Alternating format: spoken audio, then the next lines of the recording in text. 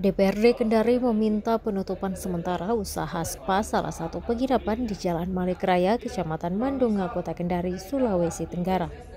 Hal tersebut disampaikan Ketua Komisi 2 Dewan Perwakilan Rakyat Daerah atau DPRD Kendari, Jabal Al-Jufri dalam rapat dengar pendapat atau RDP DPRD pada Kamis 19 September 2024. RDP bersama pengelola penginapan dan spa serta seluruh pihak terkait tersebut menindaklanjuti aduan kelompok mahasiswa yang berunjuk rasa di DPRD Kendari belum lama ini.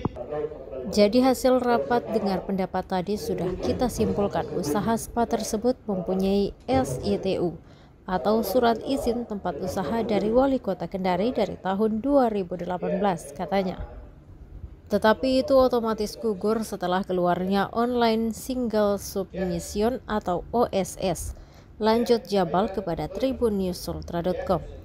Keluarnya OSS pada tahun 2021 kata Jabal secara otomatis menggugurkan surat izin atau SITU sebelumnya. Makanya kita simpulkan bahwa usaha spa itu beroperasi tanpa adanya izin sampai tahun 2024 ini. Karena yang keluar izinnya saya lihat tadi itu di tanggal 12 September 2024, jelasnya. Jabal menambahkan nomor induk berusaha atau NIB yang dikeluarkan juga belum terverifikasi organisasi perangkat daerah atau OPD teknis.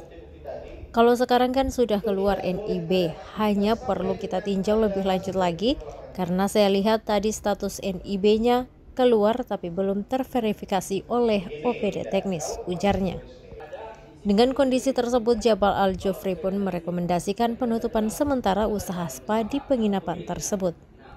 Menindaklanjuti hasil keputusan RDP DPRD Kendari, selanjutnya juga akan melakukan peninjauan lapangan.